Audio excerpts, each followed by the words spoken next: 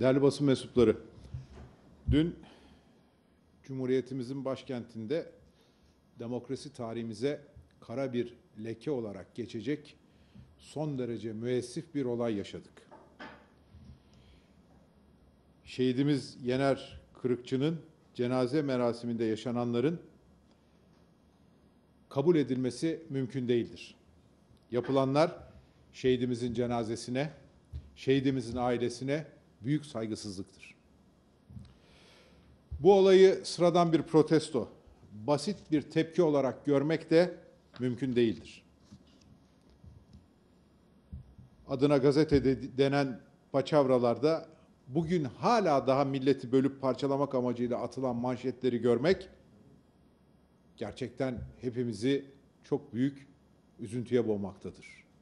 Çok tehlikeli gelişmelerdir bunlar. Tüm seçim kampanyası boyunca milletin arasına ekilen kim ve nefret tohumlarını seçimin siyasi bir tortusu olarak görmek de hiç mümkün değildir. 9 ay önce Cumhuriyet Halk Partilerinin şehit cenazelerine alınmaması talimatını verdim diyerek aslında dün yaşanan bu müessif olaya zemin hazırlayan İçişleri Bakanı şimdi seçim tortusunun arkasına saklanarak sorumluluktan kaçamaz.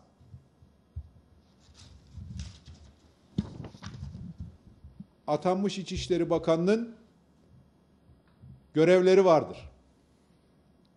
Birinci görevi bu olayı önlemektir. Ama bunu becerememiştir, başaramamıştır. İkinci görevi bu olay olduktan sonra bu olayı tarafsız bir şekilde soruşturmak, sorumluları yargıya teslim etmektir. Ama İçişleri Bakanı bunu yapmak yerine hala seçim öncesindeki ayrıştırıcı dili kullanmaya devam etmektedir. Partimizi hilaf-ı hakikat, ipe sapa gelmez suçlamalarla hedef göstermektedir. Anlaşılan ilk görevini yerine getiremeyen iki, e, İçişleri Bakanı ikinci görevini de yerine getiremeyecektir. İçişleri Bakanı bugün bu müessif olayı basite indirgemeye, seçim öncesi tortuları gerekçe göstererek köylülerin bireysel, basit bir eylemi olarak göstermeye çabalamaktadır.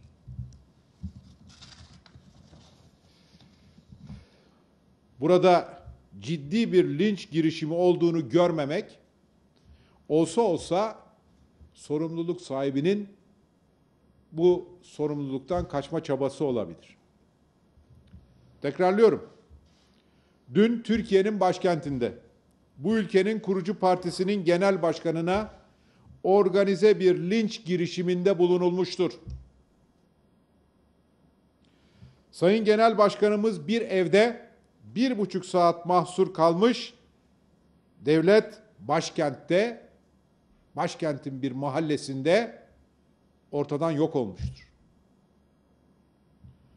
O bir buçuk saat boyunca Akkuzu köyünde devlet ricali vardır ama devlet ortada yoktur.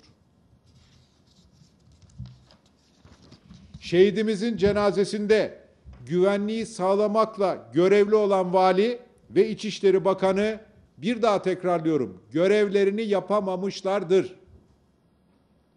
Dün görevini yerine getiremeyen İçişleri Bakanı bugün işini yapmak yerine kamuoyunu yanıltmaya devam etmektedir.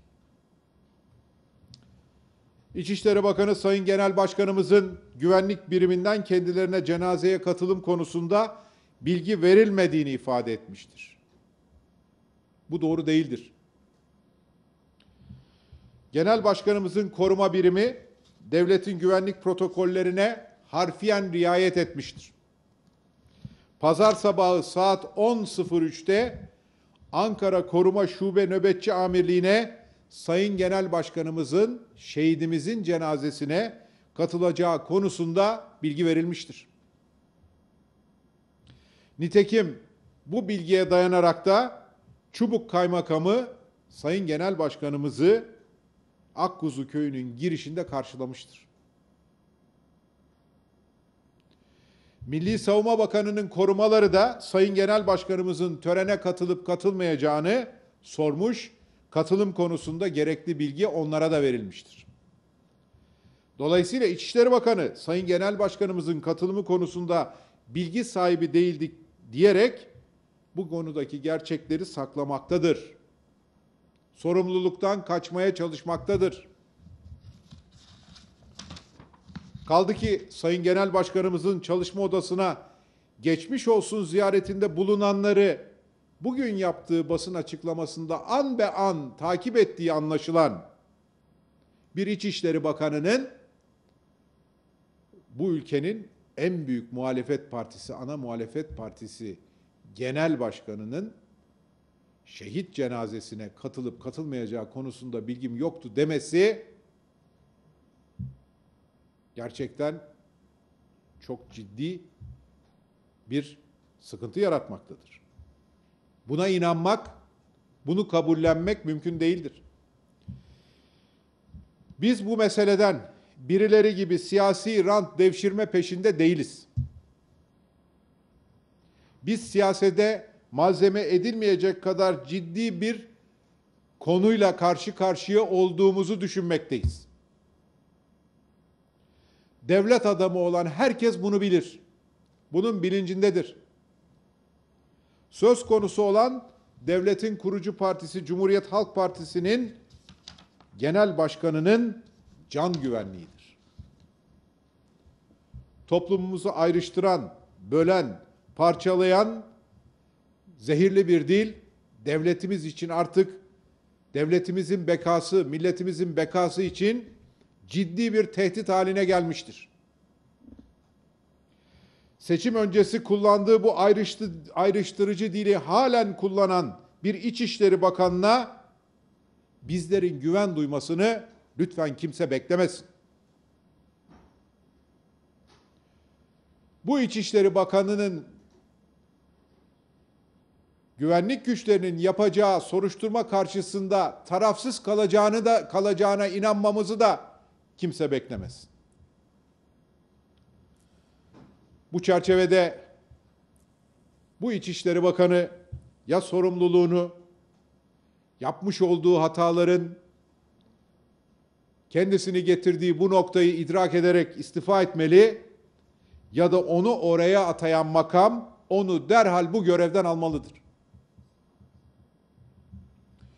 Demiri soğutmak herkesten önce ülkeyi yönetme sorumluluğu taşıyanlara düşer. Bu da sözle değil ancak eylemle gerçekleşebilir.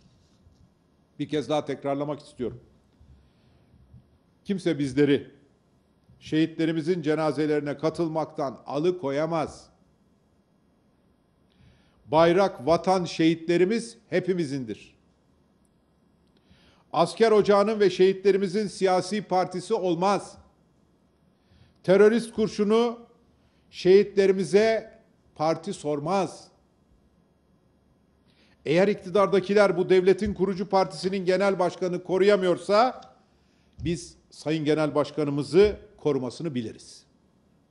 Bundan kimsenin en ufak bir şüphesi olmamalıdır.